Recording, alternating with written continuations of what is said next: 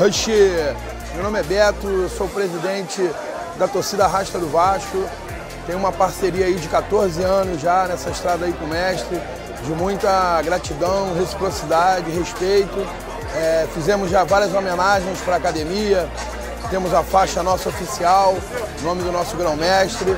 E são 20 anos de uma caminhada ainda que vai se perdurar por muitos e muitos anos. Oxê!